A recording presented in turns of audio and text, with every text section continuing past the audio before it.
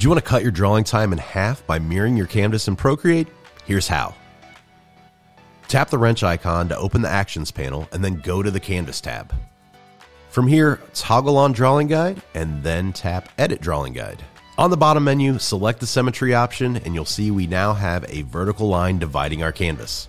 Now when we draw anything on one side of our canvas, it's automatically mirrored to the other side.